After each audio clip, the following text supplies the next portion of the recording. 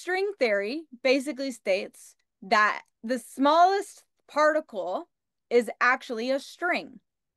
Mm-hmm. Filaments of light is the way that I've heard it phrased that I really connect with well.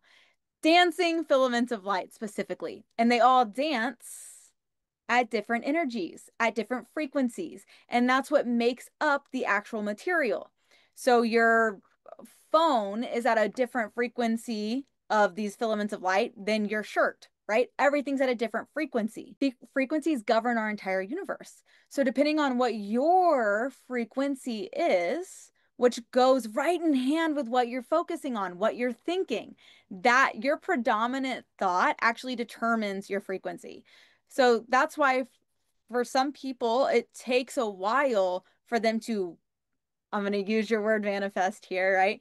To, to bring what it is that they're desiring to them because they actually have to rewire their predominant mm. way of thinking so that it can okay. be the higher frequency. And once you match that level of energy, you now have the awareness to see what has been right in front of you the whole time.